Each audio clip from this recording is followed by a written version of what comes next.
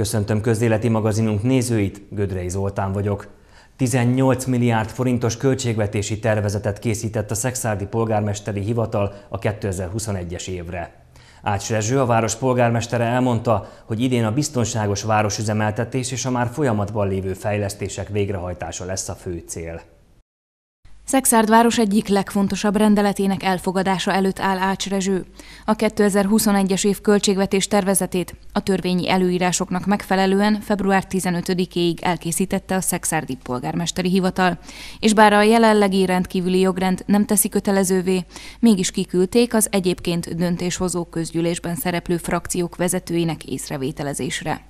A frakcióvezetőkön keresztül véleményezni fogják valamennyi képviselő, ezen kívül a rendelt tervezetet kiküldtük valamennyi bizottságnak is, így a bizottsági elnökökön keresztül fogják a bizottsági tagok is véleményezni a, a rendelettervezetet. Ezeket a véleményeket 25-ig várjuk, és 25-e után fogjuk ezeket megvizsgálni, és ez alapján a vélemények figyelembevételével terveink szerint még ebben a hónapban a polgármester úr a közülés hatáskörben eljárva el fogja fogadni ezt a költségvetést.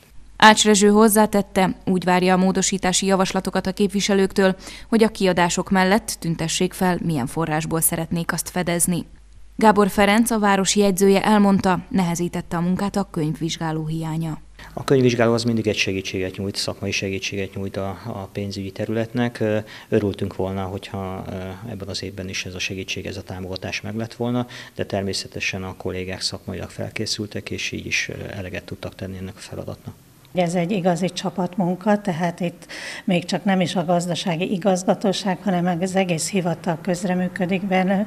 benne. Ez egy több hónapig tartó munka, amit már az előző év derekán elkezdünk, és, és aztán amikor összeáll egy körülbelüli kép, nyilván először a bevételek tervezése folyik, hogy, és ahhoz kell a költségvetéseket is hozzárendel, vagy a kiadásokat hozzárendelni, bocsánat, és, és aztán a végén az intézményvezetőkkel is egyeztetünk, mert ők is szorosan részei ennek a, a munkának. Úgyhogy hát így készül el a végén a költségvetés a mi irányításunkkal. Ez egy mobil költségvetés, ami a, az eddigieknél is valószínű, és reméljük, hogy többször fog változni évközben, akár már egy hónapon belül is. Tehát amennyiben mi úgy állítottuk össze, hogy a biztos működés most is biztosítva van, de amennyiben plusz forrásokhoz tudunk jutni, akár kormányzati tám- vagy kompenzációból, akár pályázatokból, mert folyamatosan folytatja a város a pályázati munkáját, és akkor, akkor ezekkel mindig kiegészítjük a költségvetést, hogy hozzá tesszük remélhetőleg azokat a plusz fejlesztéseket, amik az élhető szép város működését biztosítják. Már tervek is vannak arra az esetőségre, ha plusz források érkeznek a városba. Ezen kívül sok egyéb fejlesztést is terveznek a megyeszékhelyen. Bízunk a kompenzációba, ami az iparizési adó kapcsán majd az egyedi tárgyalások során meghatározásra kerül, megvannak az elképzelések, megvan a sorrend, hogy mik lennének beemelve a költségvetésbe. Ami jelenleg benne van, benne van az Aliszka utcában egy gyalogátkelőhelynek a megépítése, a szennyvízi közmű és az ivóvíz közmű fejlesztésre 20 millió forint van, a kölcsei óvodára 9 millió forint, és a közvilágítás fejlesztésére 12 millió forint van bent per pillanat. Óriási az igény a közvilágítás fejlesztésére, és ezzel az összeggel ezt bele kellett tenni és benne kellett tartani. Ismételten elmondom, mint az előbb említettem, bízom a kompenzáció nagyságrendjében, akkor még több mindent tudunk itt a városüzemeltetés kapcsán is megvalósítani. Azok a civil szervezetek, amelyek az elmúlt évben voltak, hogy külön soron kapnak pénzt a városból és a város költségvetésekből, azok idén is meg fogják kapni. Tehát ezt is sikerült megőriznünk, és az ő működésüket tudja a város támogatni. Az elkészült büdzsé mintegy 55%-át fordítják majd fejlesztésekre. Ebben a költségvetésben 18 milliárd forintos összegről beszélünk, ugye 10 milliárd forint jut majd fejlesztésre. Ez csak olyan beruházások, amelyek nem fognak egy év alatt megvalósulni, hiszen nagy összegekről beszélünk, ez jelentős tétel szexuál nagyságrendjében 10 milliárd forint. Ennek köszönhető az, hogy például a Baka iskolában folyik most a korszerűsítés, szeretnénk majd DNS-nél is szeretnénk új, új tudásközpontot építeni. Ezekre a lehetőségek, tervek, tanulmányok, források is rendelkezésre állnak, és én azt gondolom, hogy ez a 10 milliárd is egy impozáns szám lehet, függetlenül attól, hogy Covid időszak van, olyan fejlesztéseket tudunk indítani, hogy az elmúlt években valamiért hátrányt szenvedtek, vagy nem valósultak meg, vagy az elmúlt évtizedekben, inkább azt mondom, de egy megyeszékhelynek igenis rendelkeznie kell ezekkel a korszerű létesítményekkel. A tanácsnok asszony eh, végig részt a folyamatban, tehát tulajdonképpen a költségvetés az ő véleményét is tükrözi, de hát a lehetőség a módosításra önálló, amit képviselőnő is fennáll. Ez egy ilyen Covid költségvetés, vagy biztonság költségvetése, ami azt jelenti, hogy a működésre kiemelt hangsúlyt fektetünk, tehát a város működése biztosítva legyen, illetve azon szerződések, ahol már pályázat volt, ahol már leszerződtünk, vagy éppen törvényírő elő, azok a fejlesztések, beépítések kerültek, de egyéb fejlesztés most nem terveztünk be. Ebben a költségvetésben nincs benne helyi kompenzáció, erre még várunk, hiszen az egyeztetések még zajlanak. Hogyha ezt megkapjuk, akkor azzal ki fogjuk majd egészíteni, és újabb fejlesztéseket fogunk majd bevonni. De legfontosabb most az volt, hogy ezen pályázatok megvalósuljanak, és a működő képesség biztosítva legyen, úgy, hogy azokat az eredményeket, amiket el sikerült érni az elmúlt években, sikerült elérni az elmúlt években, például a szociális területen, azt meg tudjuk őrizni, így most azt tudom büszkén mondani, hogy a szociális területen hasonló nagyságrendű kiadással terveztünk, mint a tavalyi évben tervezhetünk. Mindezt szerettük úgy, hogy az egyensúly végig szem előtt volt, megvalósult, megmaradt, és úgy tudunk majd működni 2021-ben a Covid időszakban is, hogy a város működéséhez szükséges források rendelkezésre állnak. Ács Rezső elmondta, hogy körülbelül 7-800 millió forintos kompenzációra számít a város az iparűzési adó kapcsán. El vagyunk az örülni, például a szociális bérlakás állományt szeretnénk bővíteni, én azt gondolom, hogy ezek a források rendelkezésre állnak, és ezek ilyen fontos lépések lehetnek, például a szociális területen, hiszen sohasem mindig a bérlakásállomány, ezért kell bővítenünk, hogy el tudjuk látni azt, aki rászorult. Ehhez a területhez kapcsolódik az, hogy különösen fontosnak tartom azt, hogy például a szociális kiadásoknál nem kellett visszalépnünk a tavalyi, tavaly előtti évhez a csegendben a város saját költségvetéséből, és stabil működése lesz az intézményeknek, a városnak, a két dolgozik, az biztos lehet abban, hogy a munkahelye az stabil, emellett a fejlesztések is kiemelt szerepet fognak majd kapni, és nagy fejlesztések fognak idén megvalósulni, hiszen az elmúlt két-három év, négy év az előkészítésre ment el sok eh, projekt esetében, és maga a kivitelezés az 2021-re tevődött át, úgyhogy a források megvannak és rendelkezésre állnak, csak fel kell majd őket használni.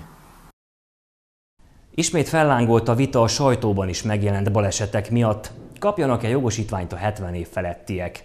A rendőrségi statisztika szerint a legtöbb balesetet nem a 70 év felettiek, hanem a 30 és az 50 év közöttiek okozzák.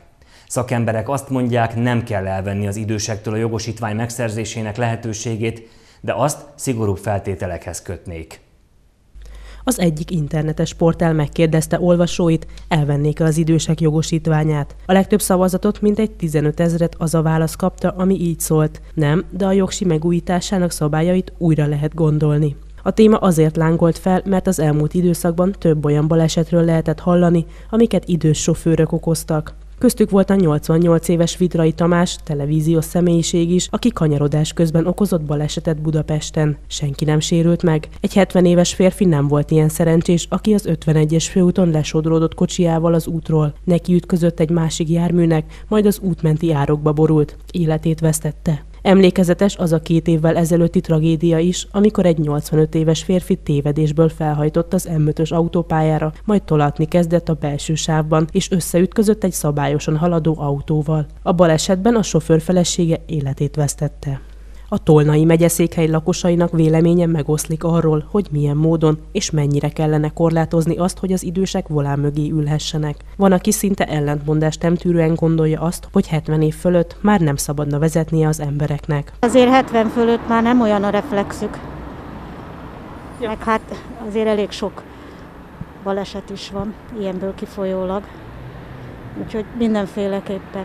De akad olyan is, aki szerint elég, ha az orvos ellenőrzi az illető alkalmasságát. Attól függ, hogy milyen állapotban van. Szerintem ez így jó, hogy orvos vizsgál és megállapítja, hogy lát az ügyfél, nem lát, fel tudja mérni a helyzeteket. Tolna megyében is volt olyan év, hogy kiugróan magas volt azon balesetek száma, amiket idős sofőrök okoztak. De ha nagyobb időtávot nézünk, nem ez a helyzet. A legtöbb balesetet a 30 és az 50 év közöttiek okozzák, mondja Megyeri Zsolt, a Tolna megyei rendőrfőkapitányság közlekedés rendészeti osztályvezetője. Az idősebb életkorúak a balesetek 25%-át okozzák vagy szenvedik el, Ugye itt azért mondom a, a szenvedik el, mert gyakorlatilag a, az életkor, illetve a, ugye a csontozat, ahogy öregszik, gyakorlatilag a sérülés foka is nagyobb lehet, sajnos ezáltal. Ha ugye a körzeti orvoshoz megy, ő azt azért tudja, hogy esetleg milyen gyógyszert szed a, a gépjármű vezetője adott esetben, és hogy azok közül, a gyógyszerek közül mi az, ami esetleg befolyásolhatja a vezetési képességet hátrányosan. Gyakorlatilag, és ennek az összességében tudja azt mondani a, a, az orvos, aki a vizsgálatot végzi, hogy alkalmas a vezetésre, vagy nem alkalmas a vezetésre. És ha egy balesetet tekintünk, és azt a, az eredményt kapjuk mondjuk szakértői vélemény alapján, hogy már pedig a gépjármű vezetője esetleg valamilyen oknál fogva mégiscsak alkalmatlan a vezetésre, akkor van egy olyan lehetőség egyébként a rendőrségnek, hogy ilyen esetekben pályalkalmassági vizsgálatra elküldeni a gépjármű vezetőjét, és gyakorlatilag ott egy sokkal komolyabb, részletesebb vizsgálatnak vetik alá a gépen vezetőt, és ők majd akkor eldöntik, hogy ő a, a továbbiakban a közötti közlekedésben részt vehet vagy sem. Megyeri Zsolt szerint a vezetői alkalmasság nem kizárólag életkor függő. Vannak aktív idősek, és vannak figyelmetlen, rossz életmódot élő, lassan reagáló középkorúak, fiatalok is. A szakember nem venné el az idősek vezetési lehetőségét, hanem egy vezetéstechnikai vizsgával méretné fel, ki hogy és milyen gyorsan reagál egy váratlan helyzetre, és azt is emlékszik-e a közlekedési szabályokra.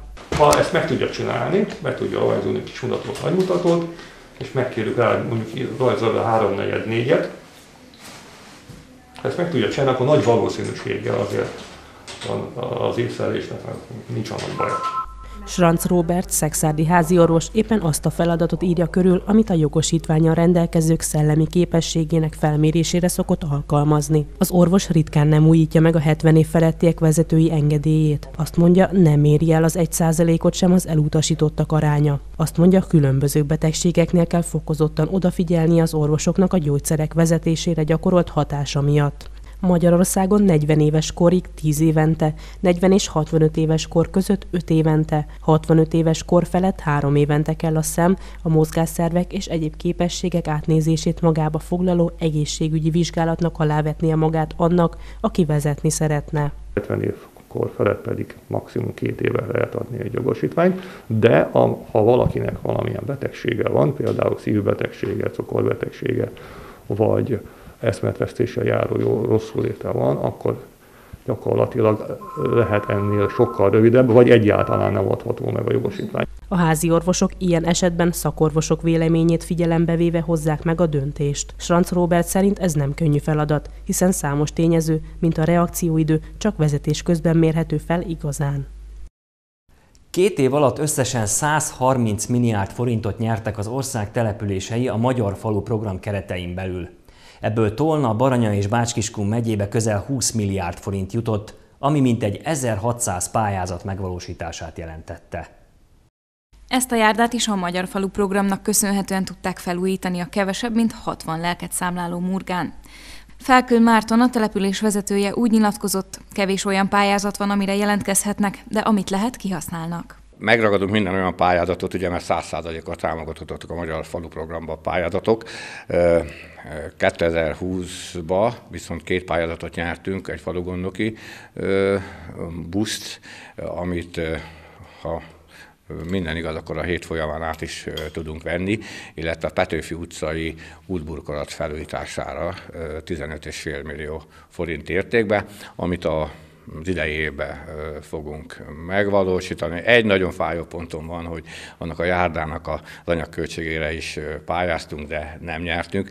Most a költségvetésbe próbálunk, illetve úgy látom, hogy találunk majd forrást, hogy önerőből azt a járdát is fel tudjuk újítani, mert úgy lenne célszerű, hogy párhuzamosan a kettőt megcsinálnánk, és akkor évek hosszal megint azzal az útszakaszon nem lenne semmi problémánk. A polgármester elmondta, már a pénzügyi forrás is rendelkezésükre áll, tavasszal meg is kezdik a kivitelezési munkálatokat. Idén a helyi művelődési ház korszerűsítésére pályáznak majd. Ezt a kis traktort a Tolna megyei Báta nyerte, ahogy a matricázáson is látszik, a Magyar Falu programban indított pályázatával a község zöld területeinek rendben tartására.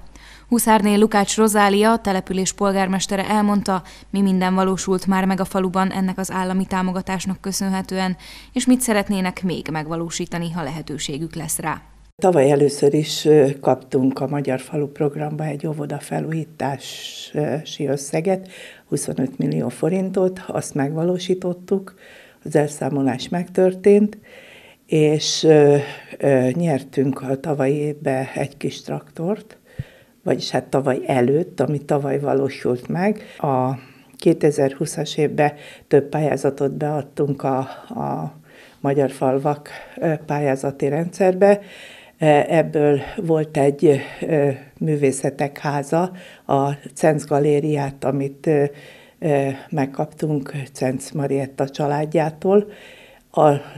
Azt egy olyan épületbe tudtuk elhelyezni, aminek a belsőjét azt még meg tudtuk oldani, hogy elkészüljön, és meg volt határozva a szerződésbe, hogy a képeket meddig kell elvinnünk E, de a tető és a külső homlokzat azt sajnos nem tudtuk megvalósítani.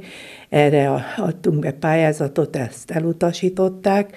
A másik pályázatunk az a Vágóid utca volt, azért fontos ez az utca, ugyanis miután a Szentvér templom bazilika rangot kapott, ezért hát egyre nagyobbak lesznek a, a Szentvér templom búcsúi, és a nagy forgalmat, buszforgalmat csak körforgalomként tudjuk megoldani, az pedig annak az egyik feltétele a Vágóid utca lenne annak a felújítása vagy kiszélesítése, burkolat kiszélesítése. Egyre nő a gyerek létszám, Bátán is, hál' Istennek jönnek vissza a fiatalok, és a három csoportos óvodából két csoportos óvodát lett, mert nagy volt az igény a bölcsödei ellátásra is, és a rászorult gyerekeknek a gondozására, és az óvodából vettünk el egy szobát, amit átalakítottunk meg az udvart bölcsödei célokra,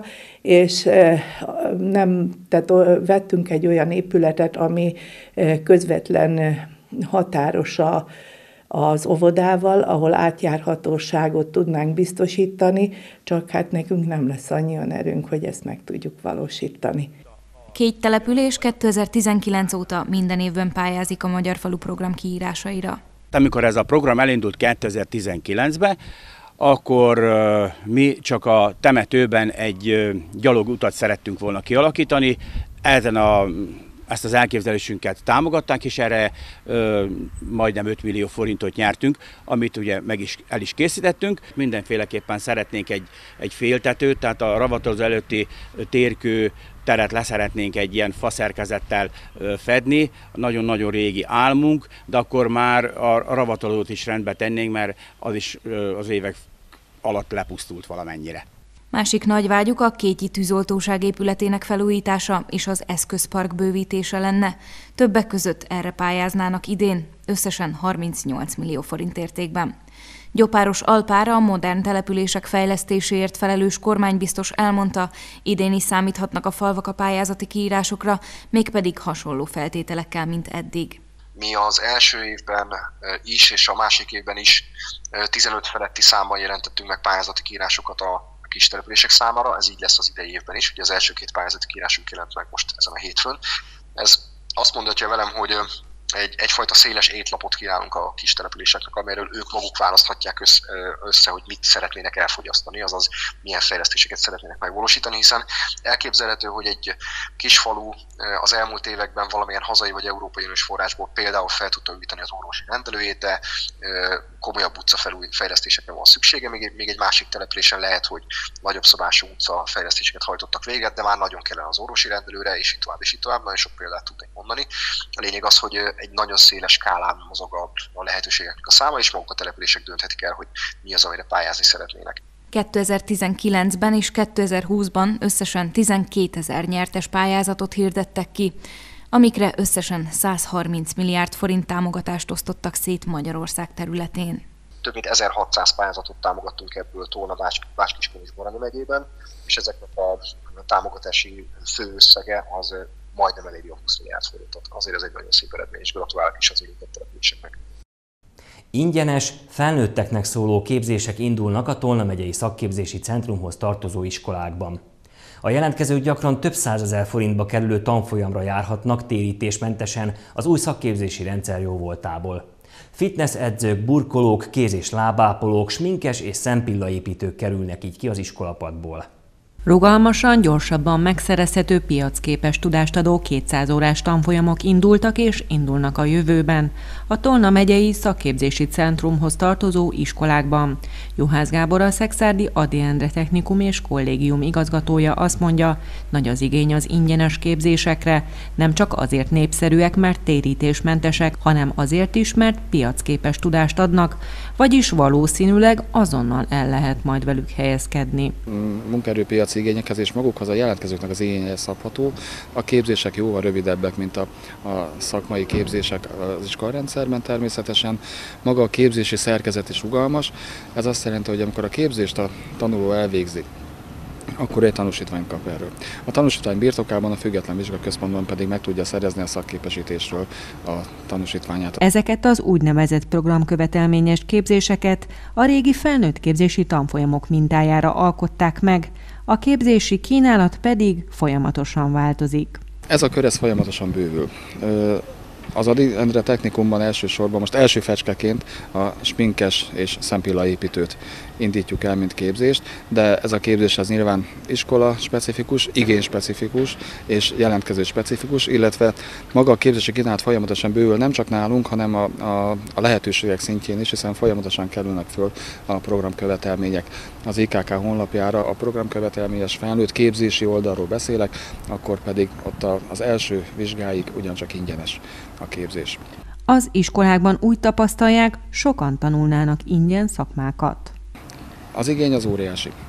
Az óriási, hogyha csak annyit mondok, hogy, hogy a, a kozmetikus technikus, a, a fodrász, a kéz- és lápáboló technikus, a gépjármű elektronikai technikus, az erősáramlati technikus, a, a informatikai alkalmazás és rendszerüzemeltető már most is megy a felnőtt oktatási, felnőttek oktatásáról szóló palettában, ezek iskolarendszerben képződnek, és most történik a beiskolázása a programkövetelményes szakmai képzésre, szakképesítés képzésére, ez pedig a sminkes és szempillaépítő szakképesítés lesz. Ez az első fecske. Itt még a tapasztalataink kisebbek, de azt gondolom, hogy folyamatosan mi is a piac igényét figyelembe indítjuk ezeket a képzéseket majd. A Tolna megyei szakképzési centrum és az Adiende Technikum és Kollégium képzési kínálatát az iskolák honlapján lehet nyomon követni. Juhász Gábor azt mondja, ők szívesen képeznének tehergépkocsi vezetőket és autóbuszvezetőket, ha a mód nyílik rá. Köszönöm figyelmüket, viszontlátásra!